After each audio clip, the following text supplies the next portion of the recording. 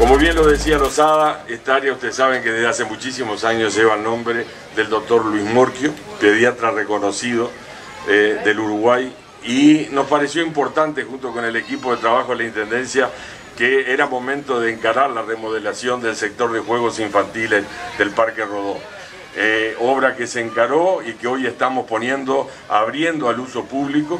Eh, la situación sanitaria del país impidió hacerlo eh, con anterioridad, teniendo en cuenta todas las medidas sanitarias que regían, entre ellas el cierre de los espacios públicos. hay importantes detalles a destacar de la obra. la parte de juegos esencialmente cuenta de cuatro sectores. Un sector que es el que está al oeste, diríamos, es el antiguo, los antiguos juegos que existían en el parque de eh, Luis Morquio, que fueron refaccionados, puestos a nuevos. Tres sectores que van por grupo de edad de 0 a 4, niños, niños de más de 4 años y para niños de 8 años son los otros tres sectores de juegos nuevos que se inauguran el día de hoy. Eh, son juegos que son accesibles, tienen accesibilidad para personas con capacidad diferente, además de toda la parte de esparcimiento lúdica que, le, brindan a nuestros niños. Además, eh, confeccionados en materiales que cuidan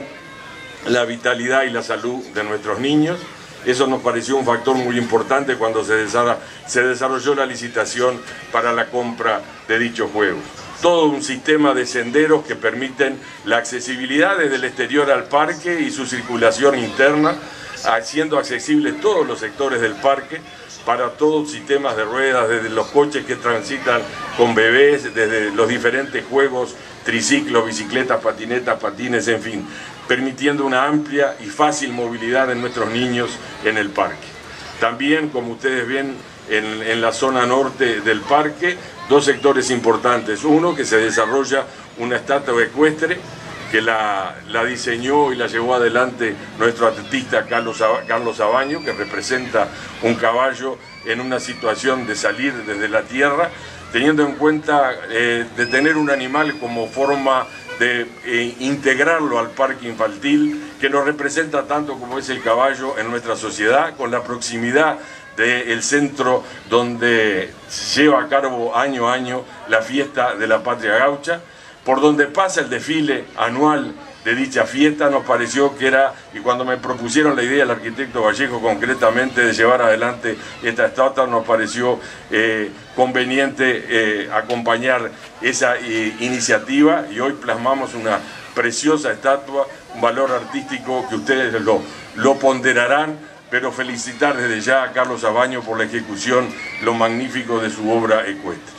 Y en ese sector también un área de patinaje, y de utilización en los diferentes juegos que tienen los niños, este, nos pareció importante incorporar eh, esa área para el uso de ese tipo de, juegos y de patines en, especial.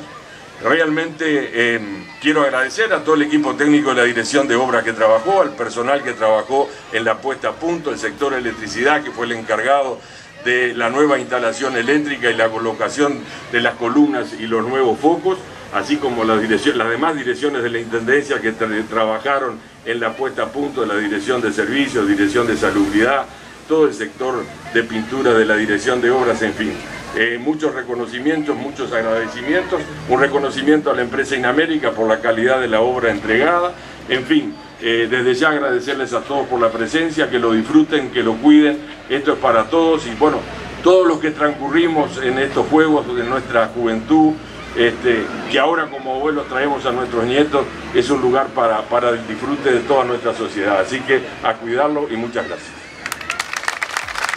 Fuerte aplauso